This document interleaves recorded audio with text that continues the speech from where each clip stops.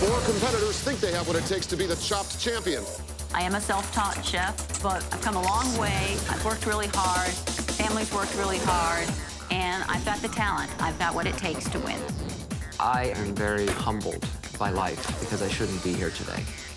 And the fact that I'm in this competition fills my heart with such pride.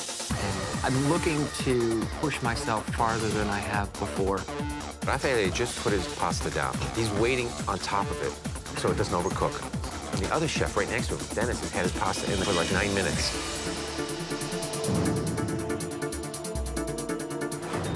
Welcome, chefs. Here are the rules. There are three rounds, appetizer, entree, and dessert. Each course in the meal comes with its own basket of mystery ingredients. You must use every ingredient in the basket in some way. If your dish doesn't cut it, you will be chopped. Chefs, please open your baskets.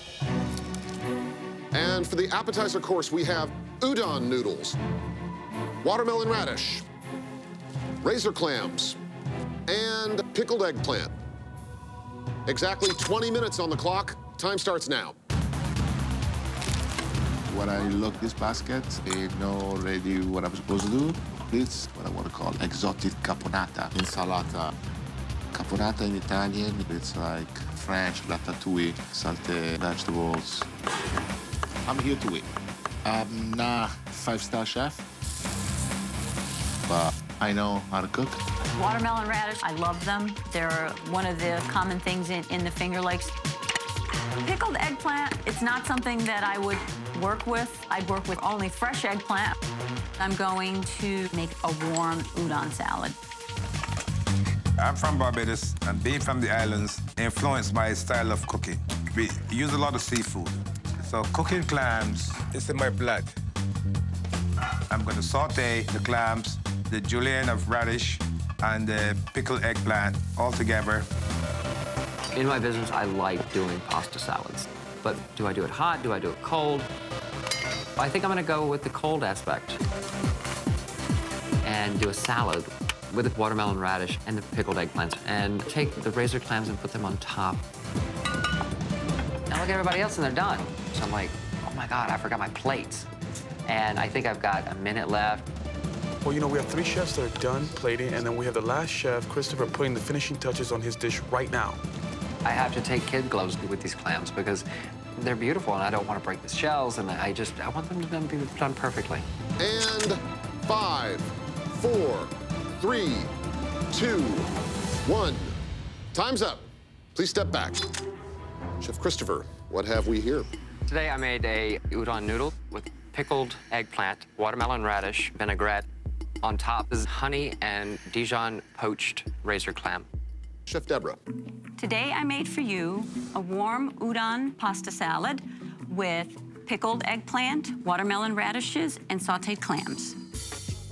Next we go to Chef Dennis. Today I made warm udon noodles with razor clams and a spicy Asian sweet chili sauce.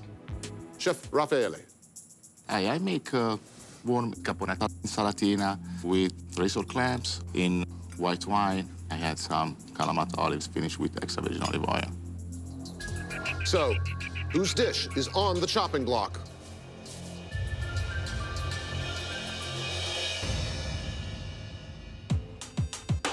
Chef Dennis, you've been chopped. Dennis, we especially love the way you, you cook your clam and clean it. However, the noodles were overcooked, and the spice level, while we all agreed this dish needed spice, for us, we felt you went, no pun intended, way overboard. And that's the reason why today we had to chop you. Congratulations, Chef Christopher, Chef Deborah, Chef Raffaele. Please open your baskets for the entree course.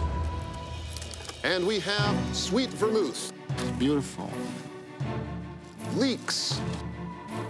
French fingerling potatoes. And live diver scallops. You will have 30 minutes for this round. Time starts now. Scallops love flavor. So I make 10 seal scallops in vermouth reduction with leeks pesto. No grit this time. No grit. I cook because I like to eat.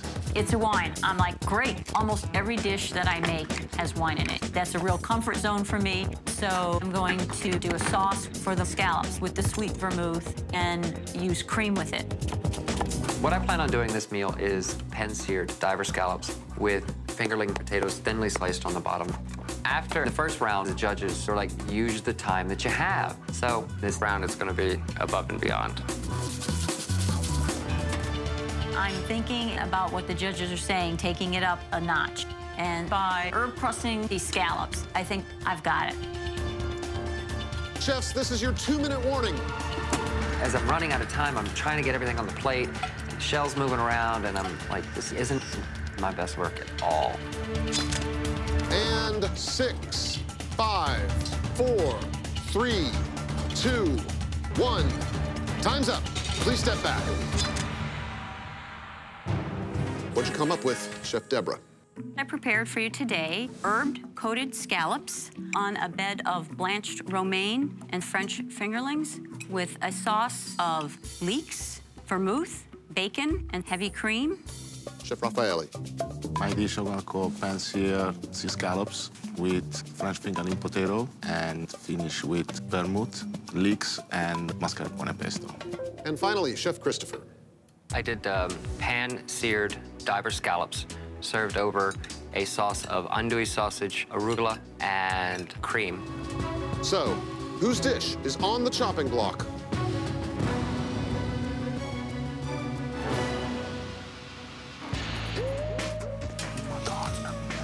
Chef Deborah, you've been chopped.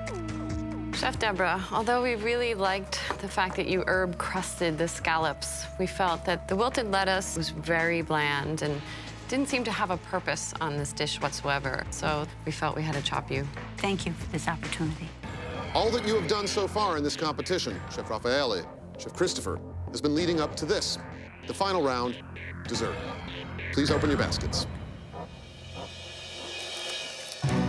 And you must use Thai basil, marinated cipollini onions, black Oxford apples, rolled oats.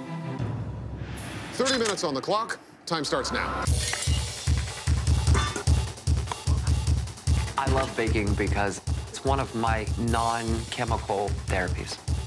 It's my escape.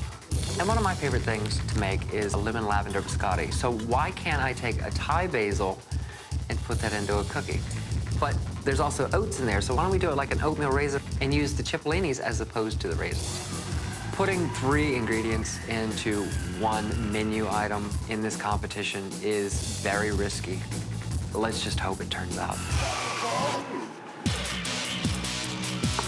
This apple is uh, acid, you need the sugar. You don't enjoy eating the apple raw.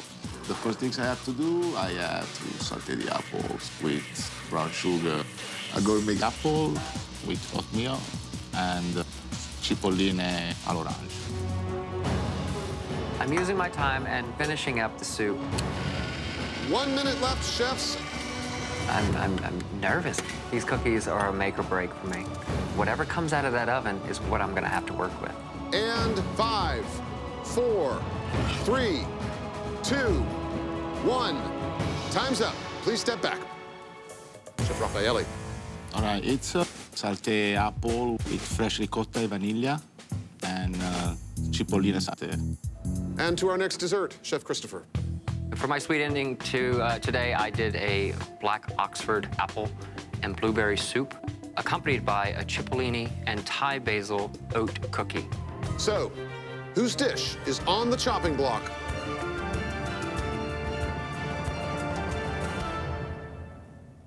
Chef Raffaele, you've been chopped. Chef Raffaele, we really appreciate your simple and straightforward way of cooking. It really reflects your background, and we are just really taken by that. But just through the progression of your meal, we found a lot of flaws, so we had to chop you. Thank you very much. Thank you. Cheers. And that means, Chef Christopher, that you are the chopped champion. Oh my God.